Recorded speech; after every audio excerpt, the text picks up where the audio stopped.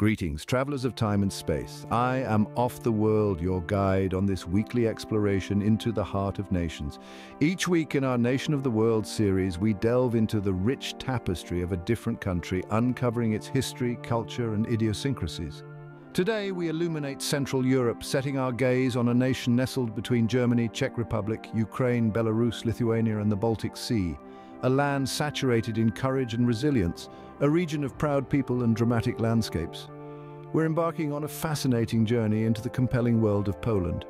From the intriguing origins of its name to the vibrant symbolism of its flag, from its renowned landmarks like the Grand Wawel Castle, the majestic Bialowieza Forest and the historic Warsaw Old Town to the lesser-known facts that make it unique, we'll leave no stone unturned. Delving deeper, we'll explore its geographical context, the intricacies of its national language, with Polish being the most spoken, and its diverse dialects. We'll also touch upon its size, population, the predominant religion, Roman Catholic, and the bustling life of its capital city, Warsaw. However, we're just getting started. We'll venture into the past, retracing the pivotal historical events that molded Poland into the nation it is today. Fasten your seatbelts as we journey into the rich and captivating history of Poland.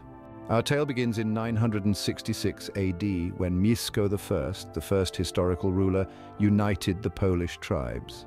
Let's take a step back in time to the origins of this fascinating nation. The name Poland originates from the tribe Polani, which roughly translates to people living in open fields.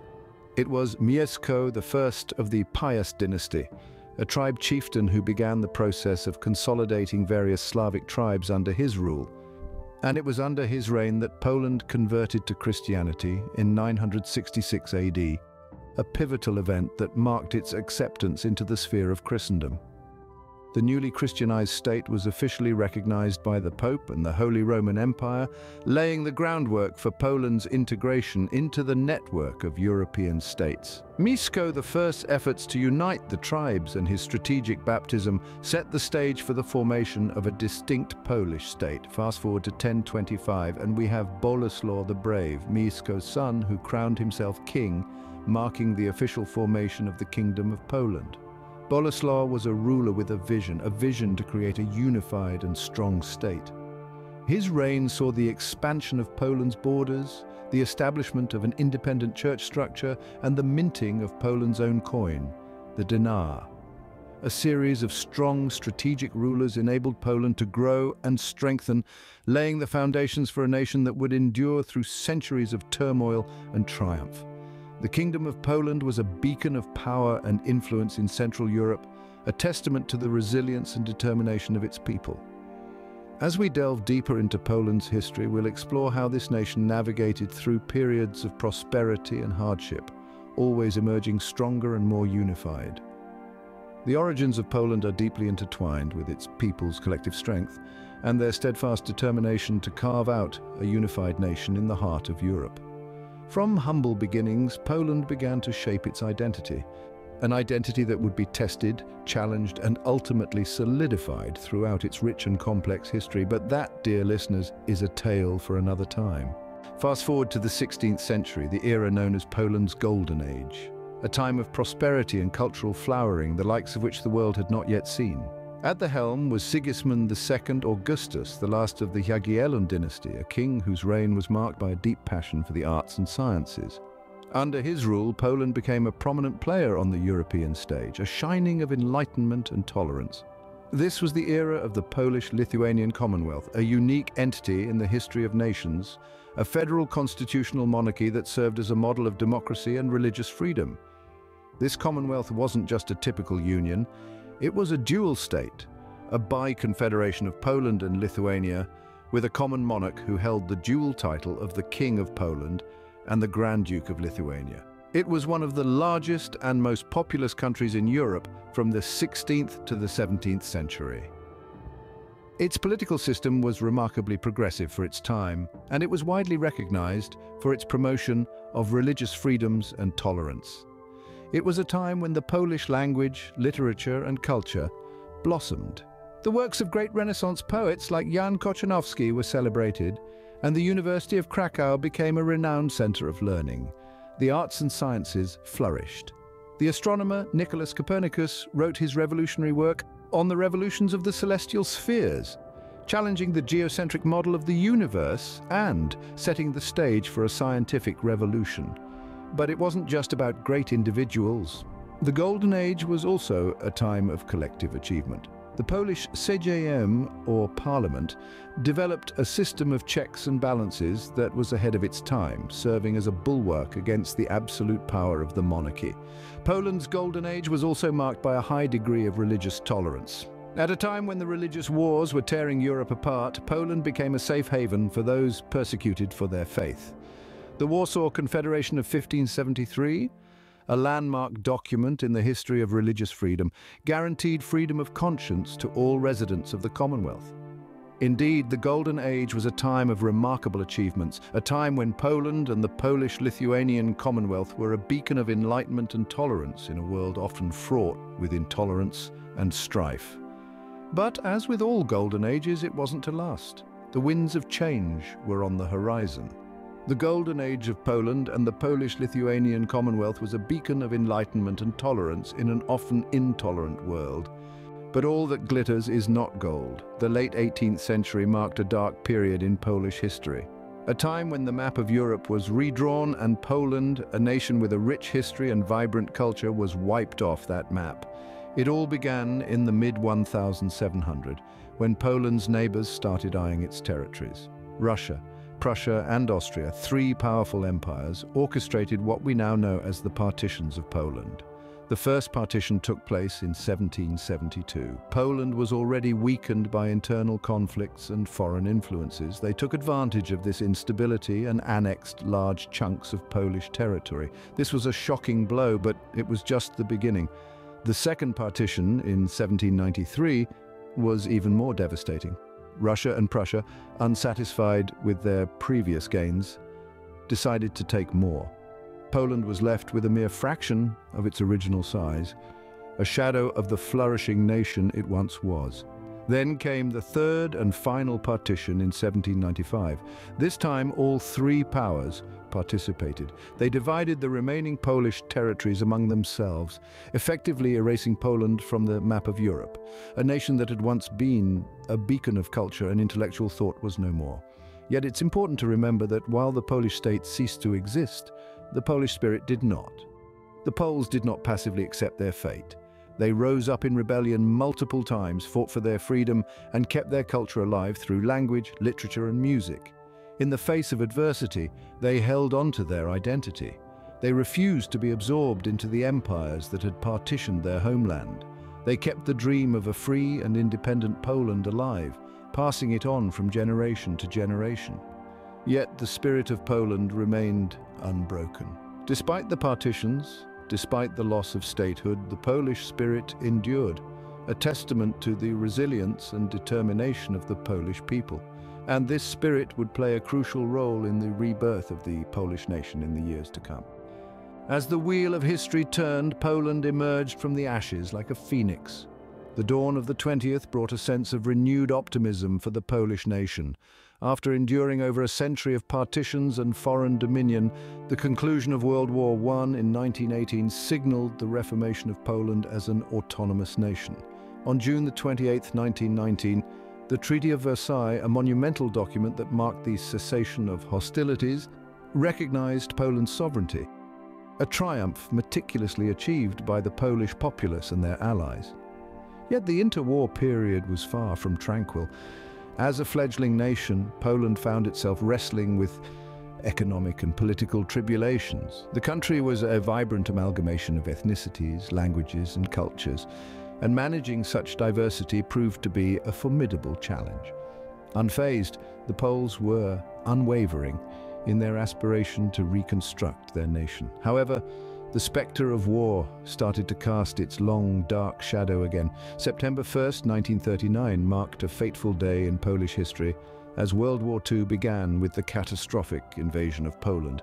It was a devastating blow delivered by Nazi Germany, followed swiftly by the Soviet Union.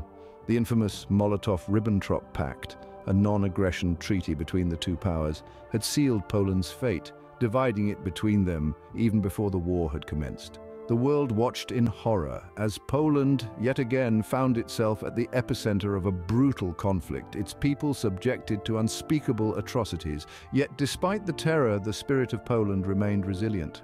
The emergence of the Polish underground state, a resistance movement during this period, served as an enduring testament to the indomitable will of the Polish people. This clandestine network operating within Nazi-occupied Poland offered social services, gathered intelligence and even functioned as a shadow government.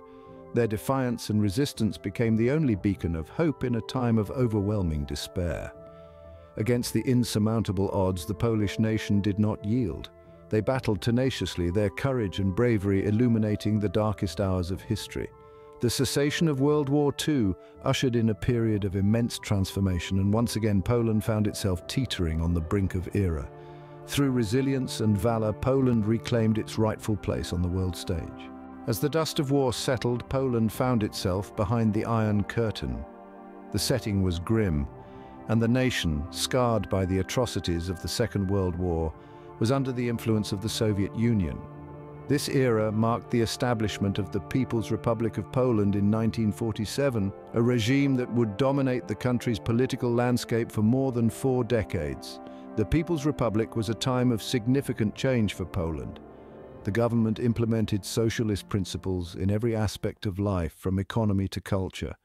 The Soviet Union's influence was palpable, and the country was firmly in the grip of Moscow's policies. Despite the hardships, the Polish spirit remained unbroken, and the seeds of rebellion were being sown. The 1970s saw the rise of a movement that would change the course of Polish history. This was Solidarity, a trade union that rapidly grew into a socio-political phenomenon. Born from the shipyards of Gdansk and led by the charismatic Lech Walesa, Solidarity represented the collective voice of the Polish people, a voice that demanded freedom and justice. The movement's strength was its unity. It brought together individuals from diverse backgrounds, from shipyard workers to intellectuals, creating a powerful force of opposition against the regime. Solidarity's influence was so significant that it played a crucial role in the negotiations that led to the Round Table Agreement in 1989, an agreement that marked the beginning of the end for the People's Republic. As the 1980s came to a close, the winds of change blew across Eastern Europe. The Iron Curtain was falling, and with it, the communist regimes that had held sway for so long. Poland was at the forefront of this transformation. The fall of communism paved the way for the establishment of the Third Polish Republic, a democratic entity that promised a brighter future for the nation. With the fall of the Iron Curtain, a new chapter began for Poland. The nation was ready to embrace its newfound freedom and work towards a future defined by democracy, liberty and prosperity. In the wake of the 20th century, Poland emerged as a vibrant democracy. As the new millennium dawned, the nation took decisive steps to consolidate its place on the world stage, joining international alliances that would set the course for its future. Poland's entry into NATO at the close of the 20th century and the European Union in the early years of the 21st marked significant milestones in its journey towards global integration. These alliances, however, were not just symbolic gestures. They opened a gateway for Poland to a world of opportunities, contributing to an economic growth that has been nothing short of remarkable. Over the past few decades, Poland has transitioned from a state-controlled economy to a market-oriented one, with a focus on industries such as manufacturing and services. The nation's GDP has been on an upward trajectory, reflecting the success of these economic reforms. Yet, like any nation, modern Poland has its share of challenges. While economic growth has been impressive, it has also been uneven, leading to disparities in wealth and quality of life. The country grapples with issues such as air pollution and the challenge of balancing economic progress with environmental conservation. But perhaps the most pressing challenge for Poland today is navigating the complex landscape of contemporary politics. As the world becomes increasingly interconnected, Poland finds itself at the crossroads of diverse ideologies and interests. The question of how to maintain its national identity while adapting to global norms is one that resonates deeply with the Polish people. Despite these challenges, Poland's spirit remains undeterred. The nation's resilience and determination, so deeply etched in its history, continue to be its guiding light. From the ashes of its past, Poland has risen as a beacon of resilience and determination. The story of modern Poland is a testament to the power of a people united by a shared history and a common vision for the future. It is a story of transformation, of a nation that has not only survived but thrived in the face of adversity. Every nation is carved by its people, and Poland is no exception. As we traverse through the rich tapestry of Polish history, it's impossible not to recognize the many luminaries who have etched an indelible mark on the country and the world. Let's take a pause to admire some of these exceptional individuals. Our journey commences with the globally acclaimed physicist and chemist Marie Curie. Born Maria Sklodowska in Warsaw, she went on to become the first woman to clinch the Nobel Prize and remains the only person to receive the esteemed award in two different scientific fields, physics and chemistry. Her pioneering research on radioactivity altered the path of science forever, Next, we shift our focus to literature and the works of Henryk Sienkiewicz, the Nobel laureate whose vibrant narratives animated the history of Poland. His novel, Quo Vadis, is an ageless masterpiece that continues to enthrall readers worldwide. On the musical front, the genius of Frédéric Chopin is impossible to ignore. His romantic compositions for the piano have become an emblem of Polish national identity, resonating the country's challenges and victories through hauntingly beautiful melodies. Turning to politics, Lech takes the spotlight. The electrician turned trade union organizer played a key role in the breakdown of communism in Eastern Europe. His leadership of the Solidarity movement won him the Nobel Peace Prize and a place in the annals of history. Another luminary who cannot be overlooked is Pope John Paul II, the first non-Italian pope in 455 years. His 26-year service makes him one of the longest-serving popes in history, adding another feather to Poland's illustrious cap. These individuals, among many others, have shaped Poland into the nation it is today. They are the personification of the Polish spirit, resilient, innovative, and fiercely proud.